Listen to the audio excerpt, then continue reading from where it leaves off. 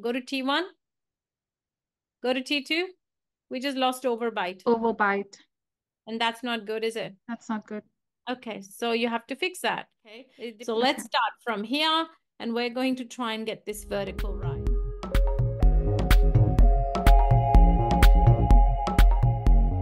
Let's look at our super, and this is going to show me at T2 whether there's intrusion or extrusion of the posteriors.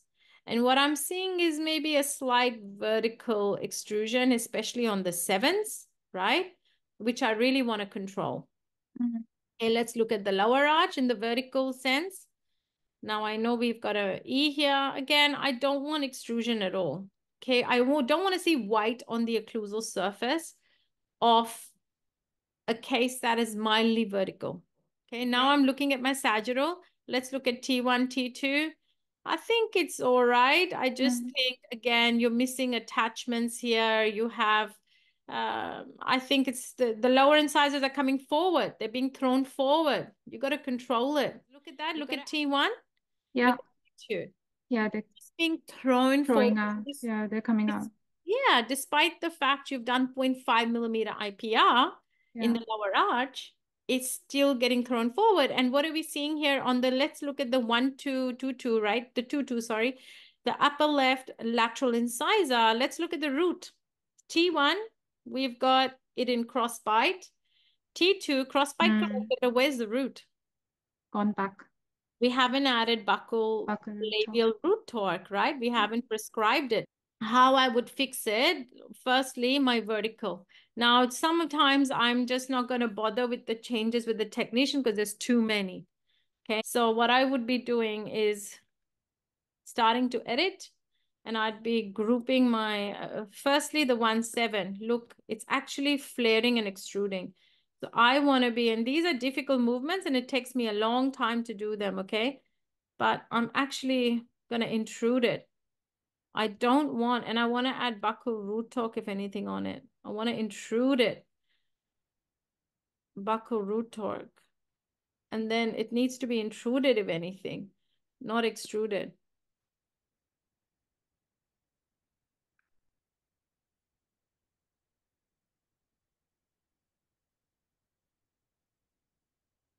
So your job was to get it set up so good that you didn't have to do half of this. Okay. Mm. We said getting this right, that right. Okay. Yeah. I just don't like, I think there's more extrusion in the lower. Definitely, I don't want these lowers extruding. Yeah. Okay. Oh, no. I have to do it one at a time. So two at a time.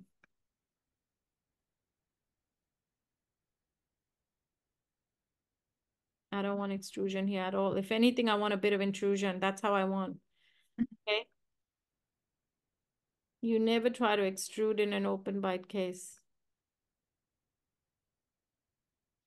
This one, we're going to click and say, do not move. Okay. Unmovable. You can't move that. There's hardly any vertical movement now, isn't it? That's, Yeah. you can argue that's minimal. Okay. What are you going to say to this one also? Do not move. Do not move. Okay. You have to just make it unmovable. Now I've got to bring these down. They're all very high up. We can't have it so high up. This is really where you want to end up, isn't it? Yeah. That's correct. Okay, and so he is going to need anterior attachments. Whenever there's a minimal overbite, they need all anterior attachments. Look at the root position. So that's why if you don't have root visu visualizations turned on, you can't Mm. these things, okay?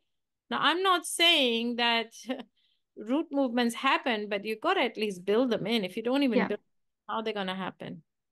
True.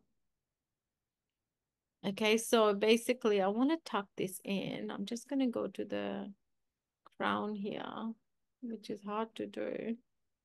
It's already showing you IPR, yeah? Lack of space. IPR already. Yeah. Yeah, so if I do this, see how? Yeah. Only ways incisor proclination. And uh, I'm going to turn this on. You have to build it this much. Mm. 50% doesn't happen. Yeah. Okay, let's go here. Let's bring this down. I don't like it. You got to get the edges right. Yeah. Now I can't really tell the technician all these little things. All these things. Right. So you have to do it yourself. Now I'm kind of seeing, you know, I'm still not very happy with the final positions, but the general plan is right now, the first set is about the general plan. Yeah. Okay. So I think it's looking reasonably okay. Now, since there is extrusion built in my 1121, I do have to add an attachment. Okay. And what's mm. extrusion attachment?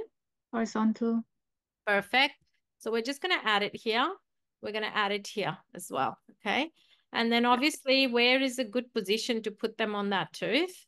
More towards the incisal third. Can you tell me why? Yeah, I read it.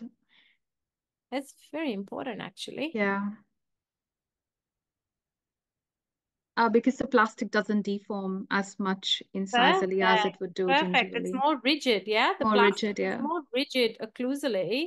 There's less distortion. Yeah. There's a better transfer of force around that area. So mm-hmm. we've also put there, yeah, there's significant root movement on that canine, yeah? Yeah. We actually not significant. In fact, it was worsening before. Now, um, I think there's a lot of rotation built into this. I'm not going to worry about the rotation. I just prefer on a premolar, put horizontal over vertical. Okay. Okay. Always, because it's a, such a tiny tooth. Even for rotation? Yeah, I prefer that. Okay, okay so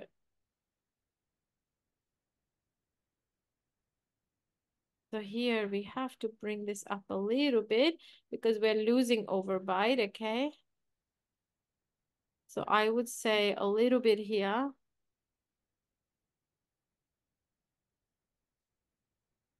And then it's okay to not, that needs an attachment, yeah? Yeah. That needs an attachment. So the one, the one seven should have an attachment. We put root movement there. Again, mm. don't do too many of these verticals. Do horizontals, okay? You're wasting. Okay. Yeah, on a molar, especially, you've got this cusp, and I would just do horizontals, okay? Especially okay. with, yeah, verticals are more for mesiodistalizing. Now, it's looking a bit better, okay? let's have a look now. Yeah, maybe we remove this.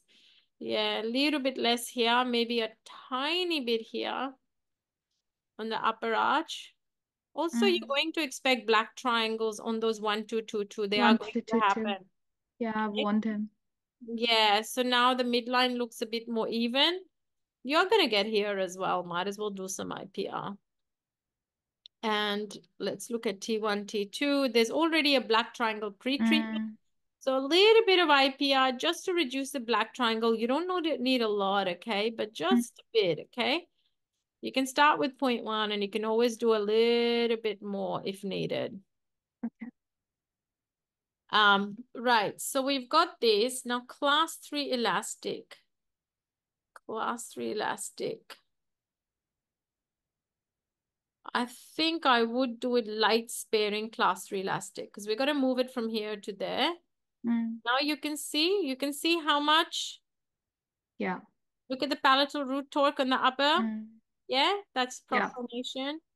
Now lowers in kind of almost staying where they are, aren't they? Look at the lower They are. Yeah. They're kind of staying where they are. So that's not a bad thing. Let's add class three. Right? They've put a button cut out. Mm. Instead of button, I'm going to put a hook right? So they put the hooks here for us already and then a button cut out. I'm actually going to put a hook. So let's put a hook here. And I'll tell you why, because, uh, so not distal hook, let's do Command Z, undo. Uh -oh. So we want a mesial hook. Could do an integrated hook too, but let's just do this, okay? So it's on the plastic and they'll adjust that. They'll adjust the attachment and all of that. Okay. okay. Let's do the mesio hook. The reason I said hook to hook is very rare is because I don't think this person needs class three elastic more than just nighttime. So okay. when they're sleeping at night, it's easier to just have hook to hook. They just put it on. During it on. the day, when they're wearing class three elastics, it's hook to hook. Sometimes they'll just keep pinging off okay and it keeps Mm. distorting the elastic as the patient is talking so patients talking you know um yawning during the day whatever they're doing chewing to it keeps pinging off so it's very Mhm. annoying i don't like hook to hook but Okay. if it's just for nighttime wear so already i know his class 3 elastic needs just nighttime wear and and uh, maybe just for this one set i'm Mhm. going to look at this okay so now let's look at our occlusion right let's look at our occlusion uh, we got yeah bit of intrusion here good still i could do a bit more but better than before i think the Mhm. uh, it's better than before right okay so Yeah. he's not a raging open i see how much extrusion we have to do of the center Yeah. yeah That's a lot. yeah, that's a lot. We have to, otherwise we're losing overbite because there's too much crowding. The other option is you can do a bit of a bit more IPR up arch, IPR. a bit more expansion, but leave it at this for now. Okay. Leave it Okay. at this. I think, and look at the amount of movement. Look at the amount Mm. of movement on this. And I don't like the position of that attachment. It's a bit off. You want it to be a bit more central. I think because it was rotated to begin with, Oh yeah, maybe. Maybe in a second set you'll have to change its position. change it. Okay? It's significant. Now you can you there's no way 25 aligners. I'd be asking 40 aligners here. Okay. You can do something is you can actually um, add like a um, button cutout here. Okay? Okay. And a button cutout down the bottom here. Okay? And the patient has to wear from here, from the five to the six, they have to wear a cross elastic. And usually they can't wear that during the day, at least at Mhm. night. I would Mm. actually make them do that. Okay. So I would say, look, just at night, put an elastic here. So I'm going to click here and I'm just going to put a button cutout. Again, you don't have to bond it, but I'm going to put a button cutout on this. Where is it? I think it won't let me. Oh, sorry. So let's do uh, remove because I didn't specify where I want it. Let's remove that. We want to specify it's lingual, right? The button I want lingual. So why don't I have to bond it? I'll explain later. Okay. You don't have to bond it, but I would do it. Okay. I'm putting it right now. Okay. Okay. You don't have to bond it if patient's not going to wear it, but patient most likely will wear it. If you can convince and say it's a bit annoying this this type of elastic, I'll be honest. Okay, it's called a cross elastic. And I think I would actually put the button more here, right? All the patient has to do is at night, put a elastic here. Okay, bring it around. So put the aligners on, put the elastic second, and then bring it, swing it from the upper arch to here. Okay. Okay, S-shaped. It's called a cross elastic. Okay, cross elastic. It helps to fix the crossbite in an adult. Okay. And if even if the patient just wore it at night, maybe a rabbit from Ormco. Okay, uh-huh. I'm happy with this one. I'm Okay. simply going to upload this and I'm going to tell the technician something. I'm going to say I've uploaded my changes 1.2 and uh, please maintain them. Do not change anything. Just simply post 40 upper and lower aligners.